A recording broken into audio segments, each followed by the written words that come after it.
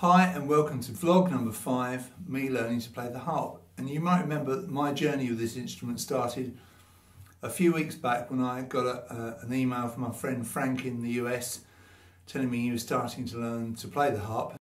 He'd got himself a Harpsicle, which is a small Celtic harp made by Rees Harps uh, in Indiana in the States.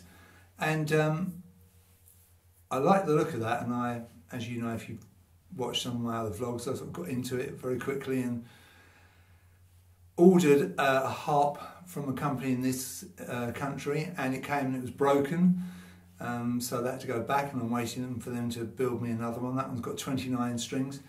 To uh, get me up and running, I bought a little 12 string uh, cheap harp from Pakistan and that was okay for a couple of days, but I very quickly outgrew that, so I've sent that back as well. So anyway, a week ago, I was looking on eBay and I saw this harp on eBay, and it was a Sharpsicle, like my friend Frank's. I'd actually vowed to myself that I'd never buy another musical instrument on eBay because it's nearly always a disaster. Anyway, I put in what I considered was a reasonable bid and eventually I won it. And so it was with fear and trepidation that Jenny and I drove down to Sidcup in Kent, which is across the River Thames, on Saturday, which was a couple of days ago, to pick the thing up. We actually bought it from a cash converters shop, which if you don't know what that is, it's a, a place where you take your unwanted stuff you're short of money and they give you uh, a pretty small amount of cash for it to sort of tide you over. You can pawn it so you can reclaim it. Um, I'm sure you know the kind of shop I'm talking about. And that, having said that, the people in there were very nice. And when we got in there, uh, there was my bright blue Harpsicle, Sharpsicle, um, on the stand. Uh, everyone was admiring it, and I was very glad to be able to pick it up and take it away. Let me show you what it comes with first of all. Um, we have a, a very nice cover with this embroidered um, Harpsicle logo and nice big pocket here for music books and a, uh, it's got a um, a carrying strap, and there's even a uh, compartment at the top for putting the stick in. If you don't know what the stick is, I'll show that in a moment. But it's got a decent cover. The good thing about this harp is that it's portable. So if I do take to it and I want to take it out with me, I can. The one I'm having made, I couldn't because that's a floor standing harp. Well, I could, but it's a bit too big for that. There was a pickup attached to the, um, the strap button, one of the strap buttons fairly cheap affair, but with a decent quarter inch jack sockets, that's something I might try and use, just attached by Blu Tack. I've taken that off for the moment.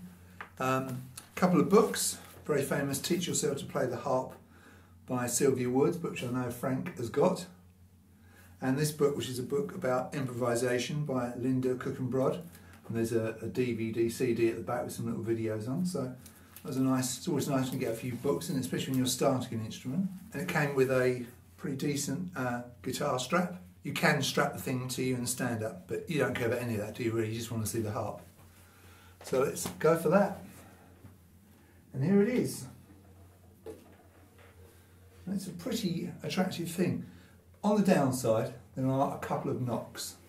If you look at the top here, um, it hasn't been particularly well looked after. There are a few marks on the back here, which you can probably see.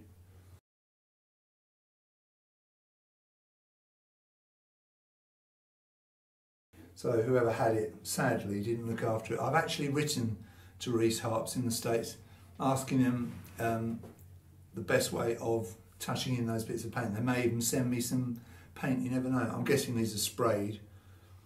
The one lovely thing about this is that it's so lightweight. Um, the stick, of course, that attaches at the back with this wing nut is for putting uh, across your legs. So you put it across your legs like that tip the harp back and that stabilises it.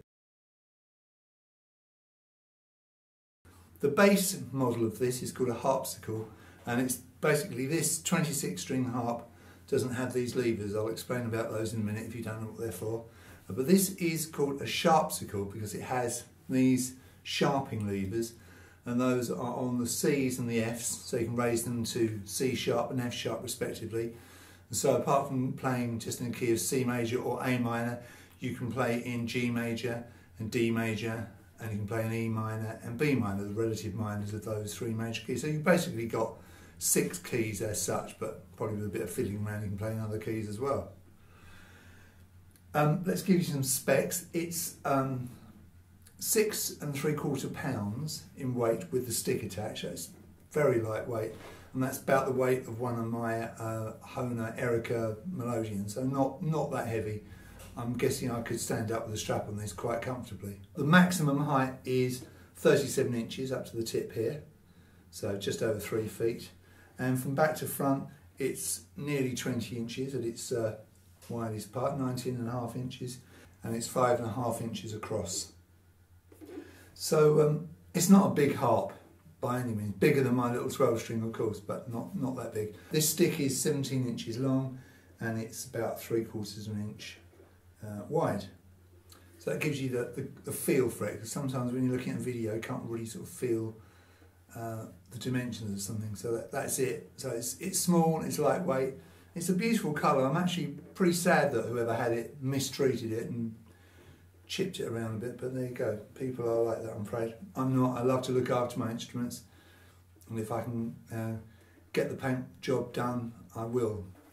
I have to say, it's beautifully put together. All the joints look really neat and tidy. You can see this one here. Really lovely. It's beautifully done. It has a guitar strap button here and uh, up here as well. So you can fit a guitar strap, and it, as I say, it came with one. But at the moment, I've found that it's better just to um, rest it on my legs and tip it back towards me. Um, I'm sitting on a lower chair than, uh, than I normally sit in uh, for these videos because obviously you need to get your feet firmly on the floor and as I say, just pushing it forwards a little bit and tipping it back seems about right. You, are supposed to be able to get the strings uh, straight up and down, not not at an angle. But you know that's a work in progress for me. I'm still trying to find the best way to get comfortable. So just to demonstrate the uh, sharping levers, there's a C red string C. The lever up, and it's C sharp. And here's an F blue string, and I put the lever up, and it becomes uh, F sharp. As you push the lever up, there's a tiny groove in here and the, the groove, the string goes into the groove and, and it just basically tightens the string to give you that higher pitch. Very smooth action, they all work really well. This stick around the back is adjustable. I mean, I've got it at this height. Um, and it's got felt, by the way, I can see, to stop so you don't scratch the harp to pieces. Um, you can move it up and down. At the moment I've got it here. I may move it a little bit. I'm guessing this scratch was done from uh, person not knowing how to use the thing properly anyway. Uh, we'll see how that goes. If you've got a Harpsicle that's later than 2012, these four eyelets are bigger and there's a reason for that. Um, the reason is that you can change these bottom four strings for, uh, for I think they're steel strings, um, which obviously don't flap around so much as the nylon monofilament strings do and give you a different sound. Um, that's uh, an option that you can go for. You can buy a set of strings and those bottom four, but you need a, you need a later version of the instrument. Uh, I think versions before 2012 uh, cannot accommodate those strings because they, they just won't go through. Um, so anyway, let's play the, the, the strings so you can hear it. So we've got bottom C, and then we've got D, and so forth.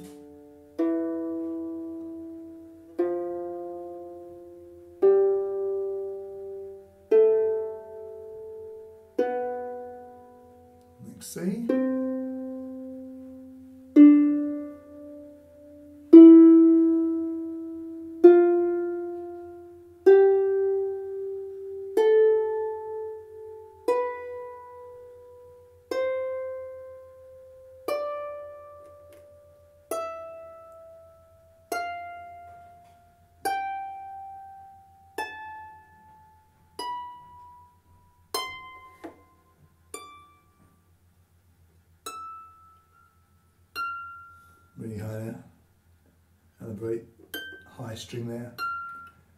High string there is the G, of course. Very, very high pitched string.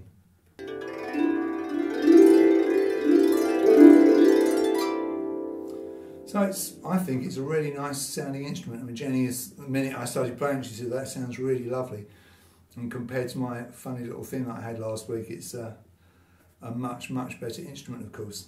The amazing thing about it when I, when I got it was uh, that it was actually pretty well in tune. Um, if you don't know, you obviously have to tune a harp.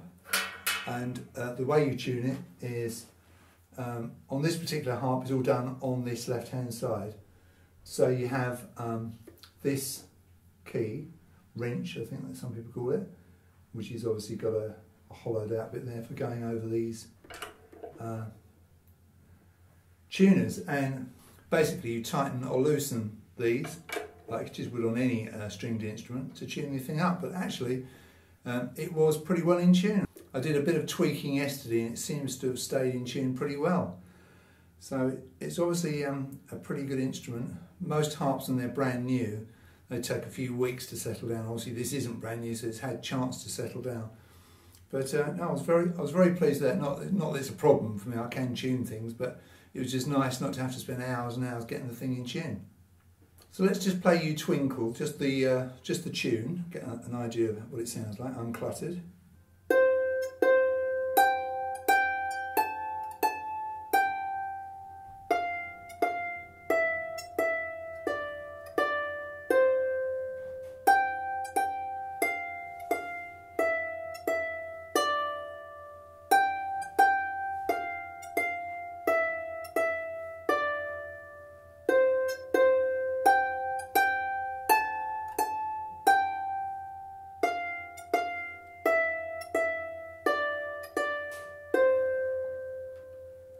When I was playing that the other day, I was positioning my thumb two strings up from the actual string I was uh, sounding to get some purchase, but having watched a few other videos, you don't appear to have to do that. Notice I've got some problems with buzzing as I'm uh, replaying the note, and there's obviously a way around that, I'm guessing. Anyway, let's see if we can put in the, uh, the other hand. Now, of course, now I've got more strings, um, I can get a better harmony, I can go lower.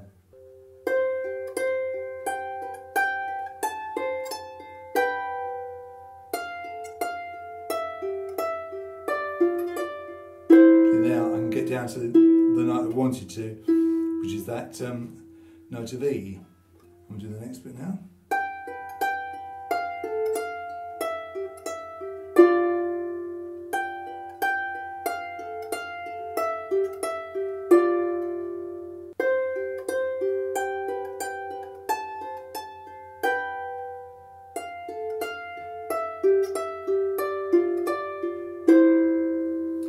And we'll just play the same thing an octave lower so you can hear the, the, the lower register of the instruments. Obviously these strings I didn't have on the other harp, so this is lovely to be able to do this. Right, big problem I've got at the moment is my eyesight. I'm wearing my reading glasses, I'm struggling to focus. It's, it's kind of a weird length. Maybe it's I need something plain behind this side. I don't know, but I'm struggling. Take my glasses off, I can't see at all, so we just have to persevere. I'm sure there's a way around it.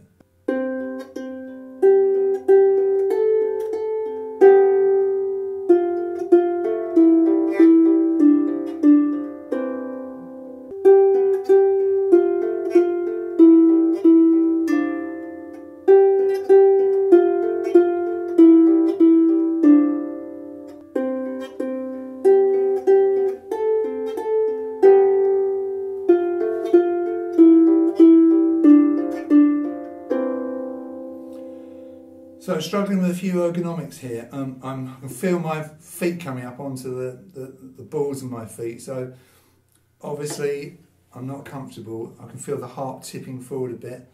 So maybe, and the books say don't lean back in the chair. So the trouble is if I lean forward, the harp tips forward. Maybe, maybe it's not far enough forward on my legs. I've got very long um, legs, so maybe I just need to get it, you know, a bit further forward than that. This is very early days, like I say, so you know, um, once I've got the, as I say, the ergonomics sorted out, I feel comfortable and I feel like things not going to move around. And this eyesight thing, and see already having moved the harp a bit further down my legs, uh, my focusing appears to be a bit better. The trouble is once the string vibrates, it messes your vision up. So you're looking at a vibrating string instead of a, like a solid object. That's quite hard coming back to it. Hopefully on my next vlog I will have uh, got comfortable with the instrument. So please excuse the terrible playing today. Uh, I feel like I've gone backwards. Of course, this instrument is very different to the other little thing. It's going to take a lot of getting used to. Um, but I'm very grateful to, um, well, first of all, to Frank for all his encouragement and to Tiffany Shaefer in the US there, who's uh, given me uh, loads of encouragement and uh, been in contact with me constantly throughout this process. And I'm going to learn um, some tunes from her excellent tutorials. If you haven't um, checked her out, uh, I'll put a link to her videos uh, on this video. Thank you very much for watching this vlog. Hopefully I'll be much improved by next time I see you and uh, I'll see you in the next one.